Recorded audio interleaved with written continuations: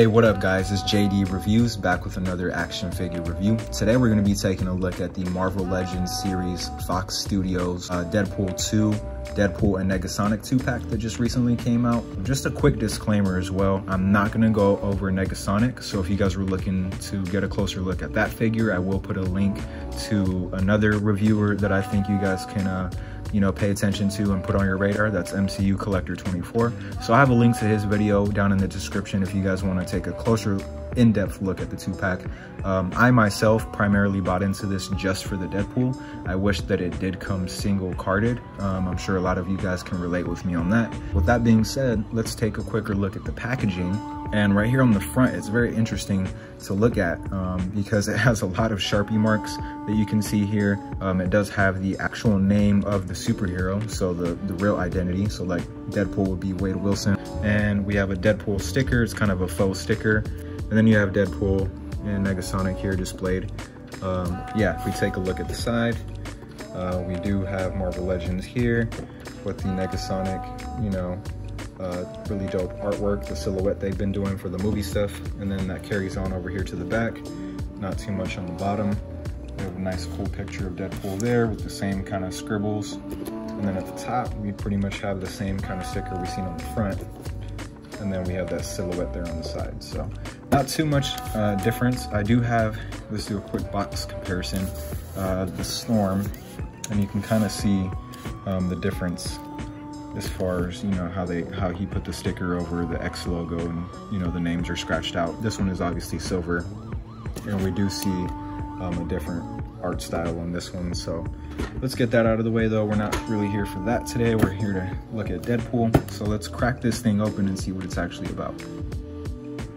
All right, guys, so here is Wade Wilson, AKA Deadpool outside of his packaging, and I really gotta take my hat off to Hasbro on this one. I think they really killed the sculpt work, the proportions, the coloring, the accessories. I think they gave us what they can out of a Deadpool. This being a rated R based figure, uh, with the Deadpool 1 being rated R, Deadpool 2 being PG-13. I think this was the perfect opportunity for us to get this figure, and I'm really excited to add this to my collection. Um, just taking a quicker and closer look at the Deadpool sculpt work, um, if we can just zoom in here and focus in on this detail, man, just appreciate this. Let's have a moment of silence just of appreciation.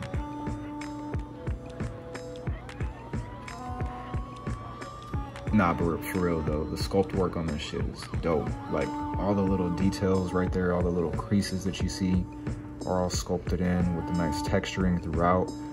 Um, every every angle you look at this Deadpool, you can find something new that I didn't see before. Like I didn't even pick up on the little gash marks right here on the shin guards. Um, so coming in at the head sculpt, I think this dead on looks like the Ryan Reynolds, you know, shape of the head, you know, from him wearing the suit in the movies. And just the shoulders and everything, they sit really nice. The length of the arms, I think they really nailed it here with Deadpool. I don't really have any uh, nitpicks here with this. Um, I think they did the costume justice. So even taking a look here at the chest, you can see a nice little level of detail there. You know, I think a nice black wash would have really brought this out. Um, but a lot of you customizers can go ahead and do that yourself. Um, but regardless of that, Hasbro put the sculpt and the time in there. So that's really, really well done. You can see just some of the creases right there on the ribs with the, the matte black. Right there on the side of the ribs. You know, just right there on the shoulders. We have some nice uh, sculpted inline work. And then you have, you know, just right here on this little collar piece, there's some nice details. And just right here on the back with the droop on the head that we've come to know on Deadpool's. You know, different representations of him. Um, some nice detail right here on the uh, sheets. You know, you know, looking around here on the back. We will talk about these, um, you know, gun holsters here, but you do have some nice sculpted in details some guns in there and then just taking a look at the uh, kind of you know paint slop here on the buckle but I'm really not mad at it. I can go ahead and fix that myself. Um, but you do have the nice silver buckles here throughout the figure and then you have some nice tannish kind of brown paint right here for some of the pouches and then you have that same color carrying through on this side. And then you have a nice little holster here that we'll talk about. And a lot of these are glued into place, like these are not gonna come off. This one, however, you can kind of cut off. It is kind of hovering there, but it is not attached to this. So if you take the, the holster off here, or uh, the belt guard or whatever, the strap, uh, you're still gonna have the katana kind of hang out there, uh, the sheath. So, but yeah, coming back into the detail, you got some nice black paint throughout, kind of break up some of that red. And then looking at the boots, you have some nice little guards here, and then some black paint. Yeah, man, the detail is crazy. Like you even have the sculpted uh, texture from the red part within the hinge right here. It's really nicely done. Just the creases right here on the back of the arm. I swear you can just sit and look at this figure all day. I have been. Don't tell my wife.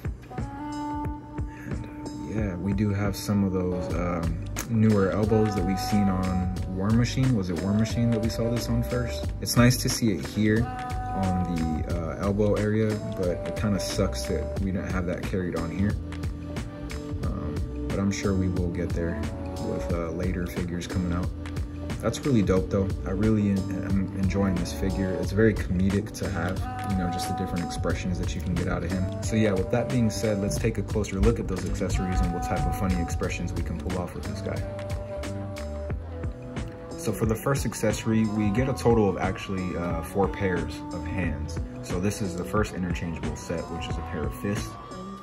And then we get a pair of open displayed hands. Right here we have a pair of katana holding hands.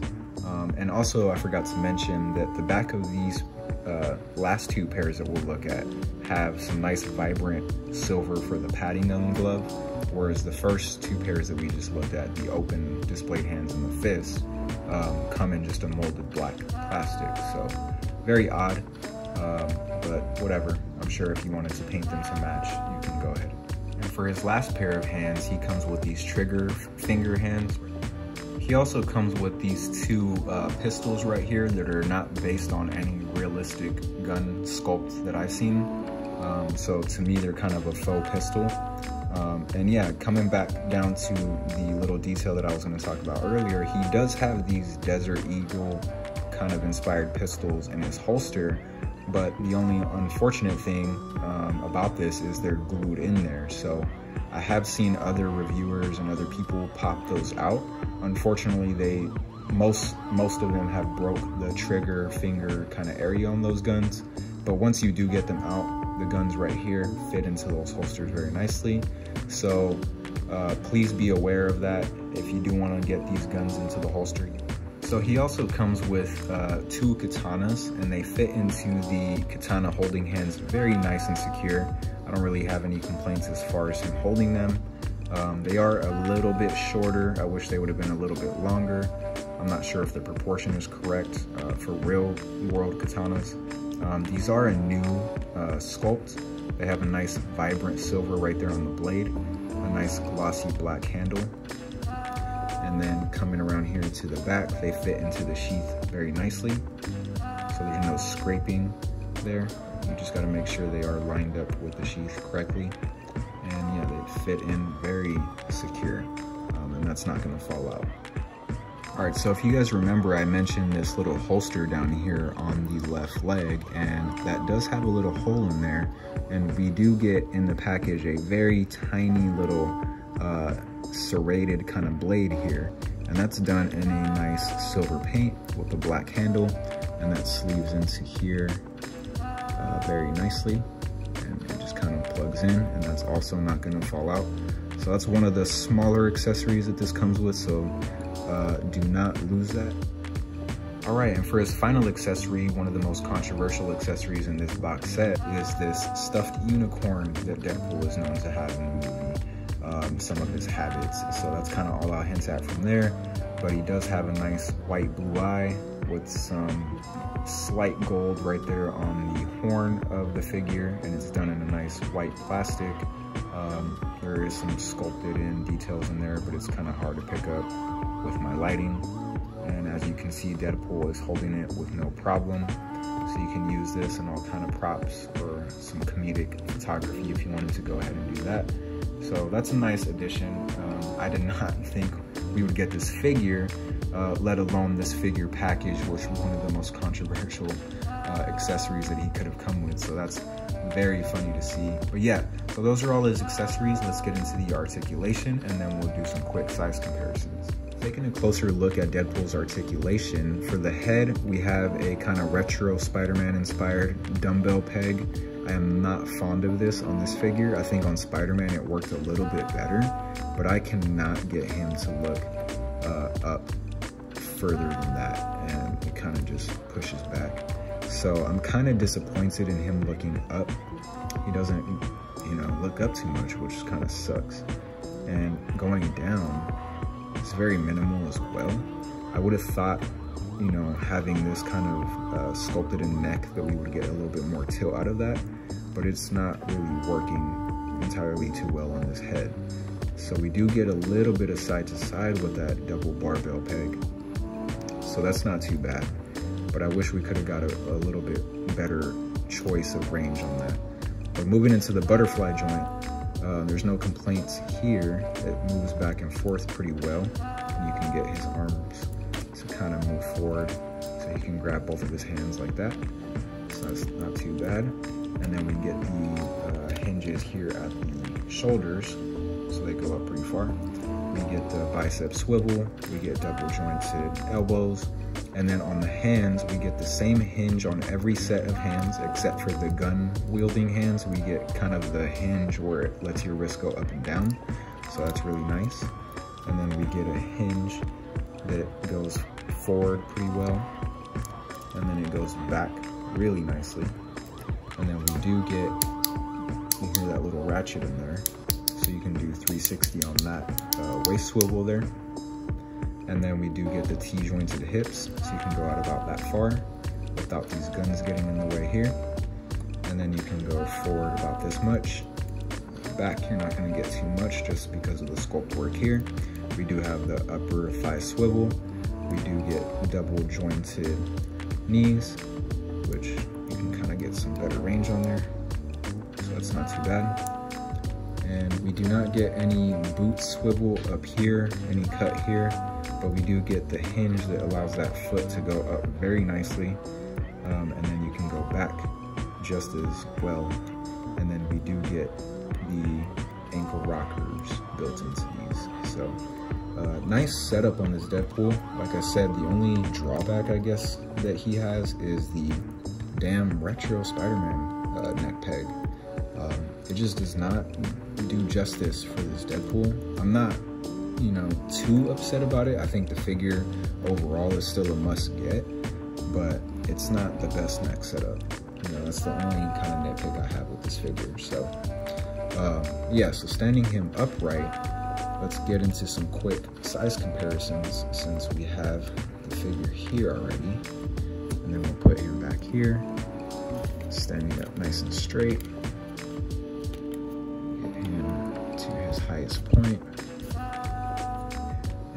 figure that I have on hand. You know, we were talking about the neck peg. Here is the retro or vintage uh, Spider-Man. They're at a very similar height, standing toe to toe. Deadpool is slightly taller than Spider-Man here. So yeah, I'm not too fond of the neck peg on this one as well, but it just works a little bit better here. And another figure from this wave I have on hand that I did enjoy from the wave is the armored up Daredevil. And so, you know, just having some red buddies here.